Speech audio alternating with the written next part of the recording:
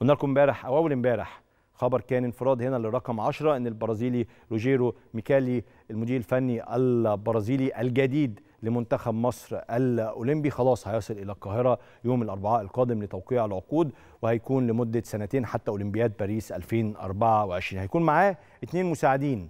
واحد مخطط أحمال وغالبا هيكون معاهم كمان الكابتن عصام الحضري مدربا لحراس المرمى في المنتخب الأولمبي ده على مستوى تشكيل الجهاز الفني.